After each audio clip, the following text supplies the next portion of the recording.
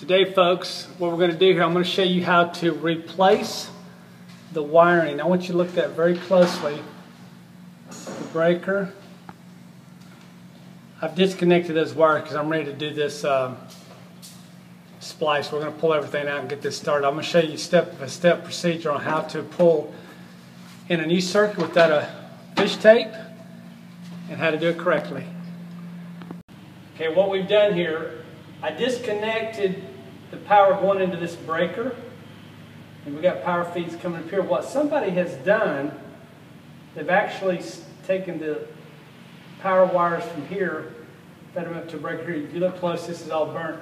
I'm to put this cover back on just for a safety.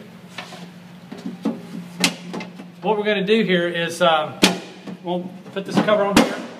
And what we've done now, we've already pulled out one wire, okay? I'm pulling out the second conductor, okay? I'm to show you how to pull everything out.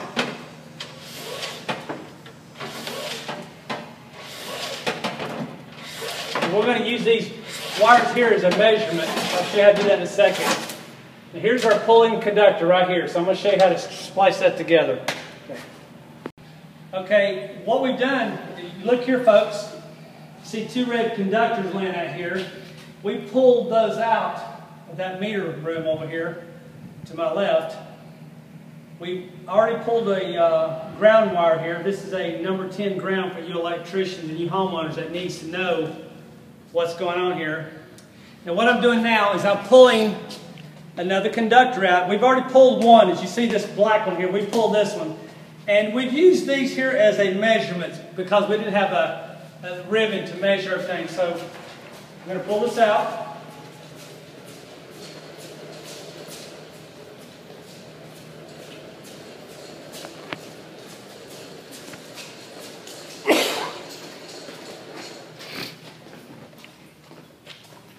And also, just so you know, this is stranded conductor. Anything over a number 10, really, when you're pulling it through three 90s, and that's 90s, that's where you go up and down and, and around a, a, wall underneath the ground, back up into a circuit. You always want to use stranded conductors because stranded conductors are easier to pull than solid conductors. This is for you homeowners and uh, want to be electricians.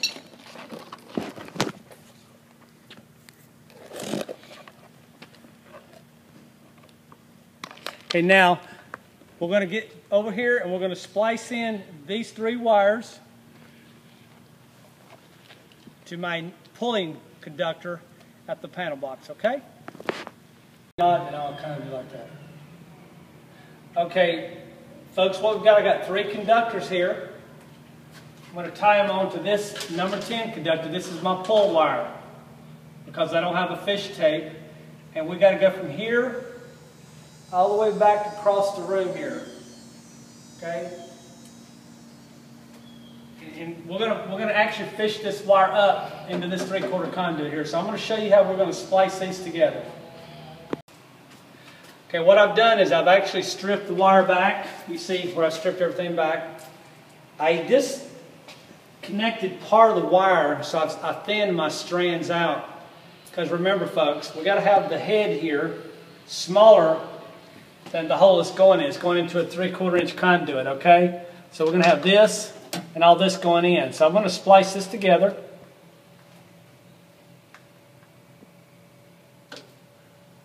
We're going to do what we call a Western Union.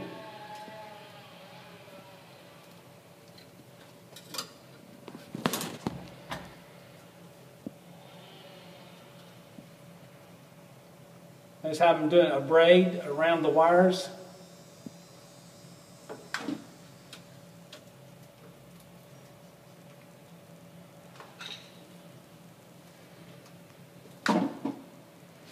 Last few braids, I'm just going to take and I'm going to wrap them both ways in both directions.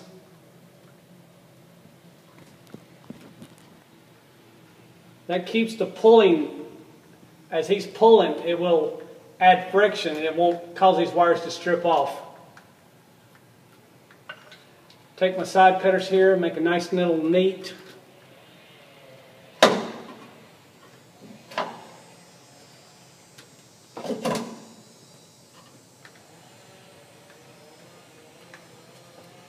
I'm going to bring this down.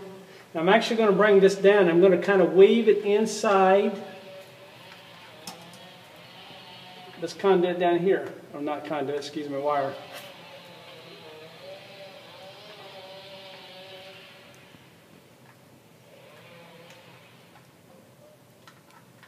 Okay, now while I'm doing all this, I'm trying to keep a, a little triangle here so the head will be small, okay?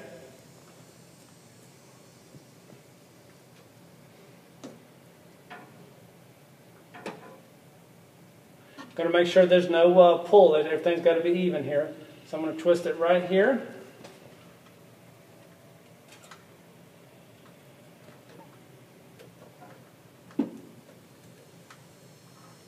Nice and tight.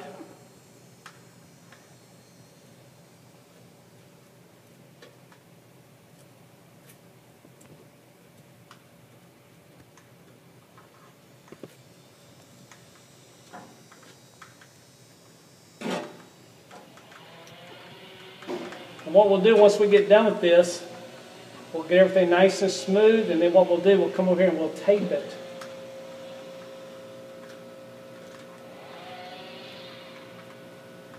Once again, bring this on down here.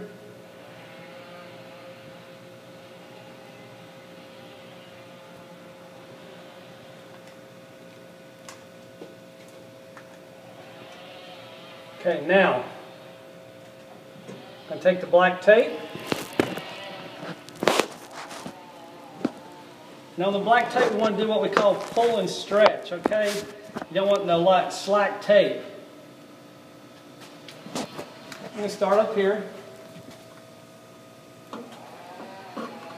Okay, I'm just going to kind of pull it and stretch it at the same time so we keep it nice, small. We want everything as small as possible.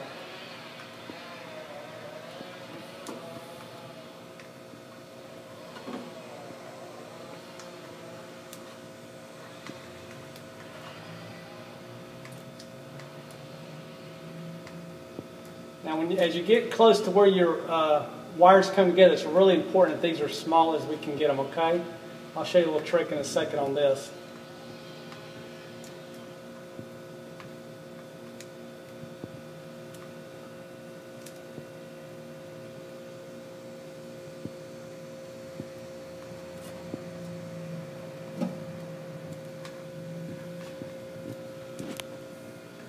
As I get down here closer, it's very important I have these all in line here.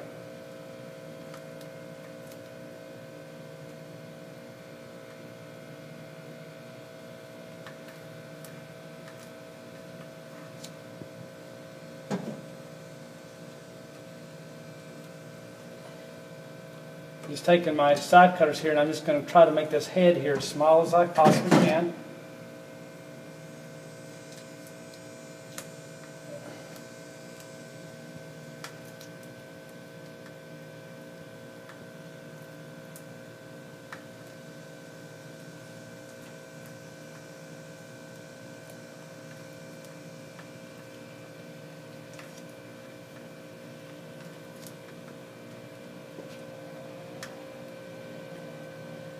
Okay, now what I'm going to do down here on the end, just flag my tape, I call it flag.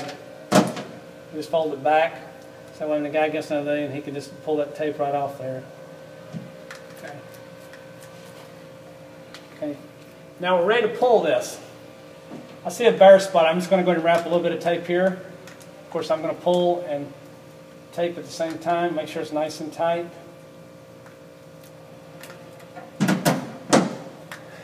And I don't have nobody to show us how we pull the wire, but I'm going to show you something else that we're going to put in here. It's called wire lubricant. Anytime you pull wires through a conduit, now we're doing it the hard way. We're pushing up because of the way it has to be on the other end. So I'm going to grease this thing down with wire lube as, the, as my technician pulls the other end, okay? I'm just going to take, this stuff is nothing but soap. You can actually wash your hands with it. Pull it off. Be generous. Don't be shy.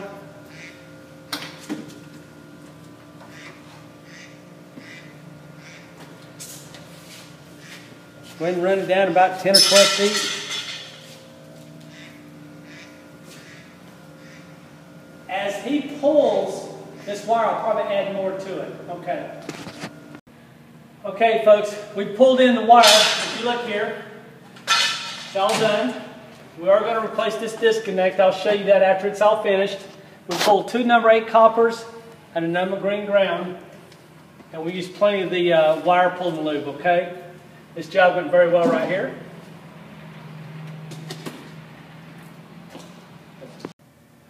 Okay, so what we've done here, we've pulled a new circuit in the conduit all the way back to the new air conditioning unit. Uh, square D breaker, this is square D disconnect. What we've done here, we've actually pulled in two new wires down here. This is the ground wire, ground's always green. And here are the two wires that I'm adding in behind the lugs here. I'm just pulling this out, this is what they've had, they just had it all tucked in behind it. As a general rule, when you're doing um, electrical work, you always want to put your grounds first on, last off, okay? And what I'm doing here, I'm actually just tightening this up a little bit more.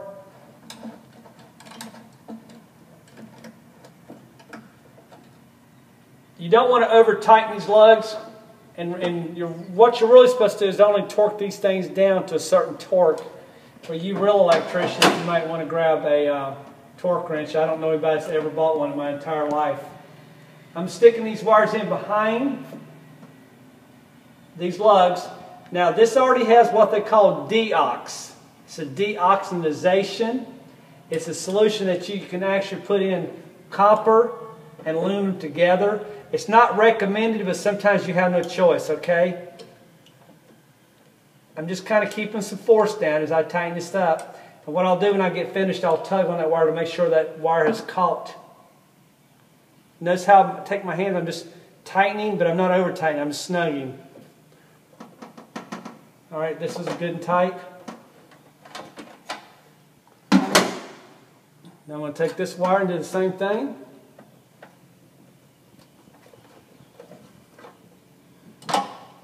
3 8 Allen key. Folks, I recommend you definitely not doing this unless you're a licensed electrician or a person that's got several years in the trade. This is very dangerous what we're doing here because these lugs are actually hot right here. This is a live panel.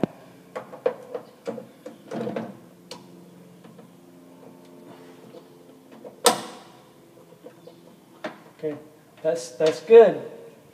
Now I'll show you what I'm talking about here.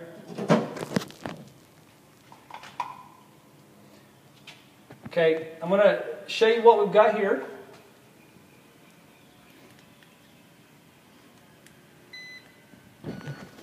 Hot, hot, not hot, not hot, of course. That's why we have the green. I really highly recommend these tools for homeowners, handymen, electricians, anytime you're going around electrical current, you really need a safety device. This one here is an audible sound, matter of fact, I like that. Now I'm going to flip the breaker on. When you flip everything on, you always want to stand to the side. All right, now we should have current here, current here. Ground's good. You're not supposed to have current here because it's fed to the top.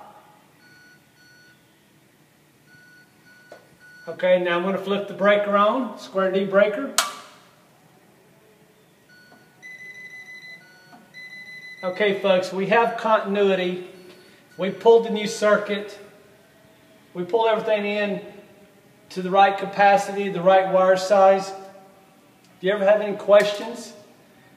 If you have any concerns about any type of electrical problem, please feel free to call 239-596-5855 or jonesairconditioning.com. Thank you.